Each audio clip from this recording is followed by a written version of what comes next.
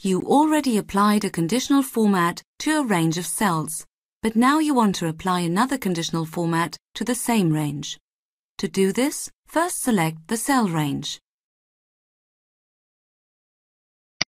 You defined a conditional formatting rule for a specific range of cells.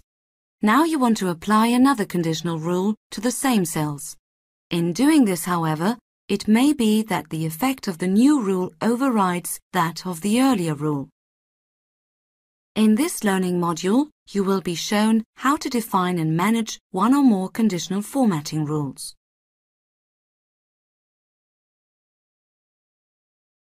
Then, on the Home tab in the Styles group, click Conditional Formatting.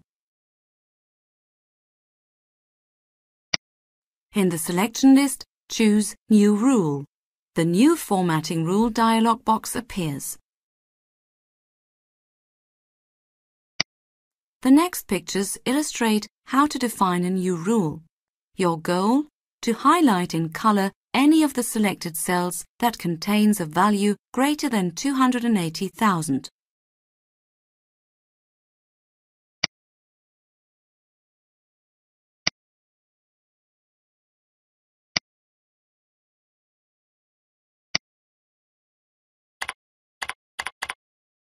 To specify the fill color format for cells when the condition is met, click Format.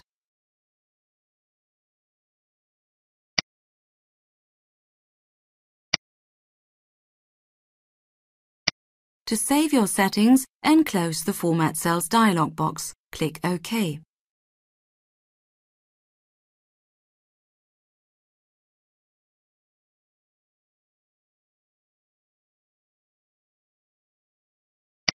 In this example, the values defined in the first rule also meet the condition for the new rule.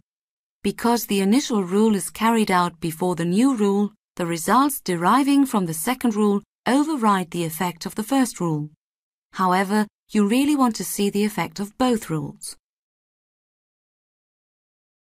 To make both rules effective, you need to change the order in which they are applied.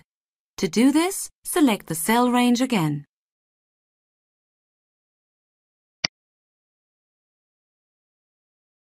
And then, on the Home tab, in the Styles group, click Conditional Formatting.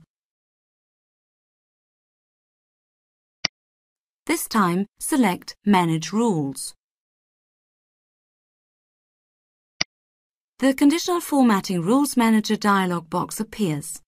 After some thought, you see that you would obtain the desired effect if the formatting determined by the earlier rule would be carried out after the formatting determined by the new rule. To change the order in which the rules are applied, click on the new rule.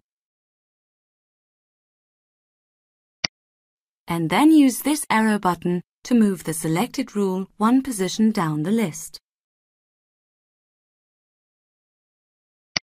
To apply your change and close the dialog box, click OK. The order in which the two rules are applied has now been changed. The result you desired is now apparent.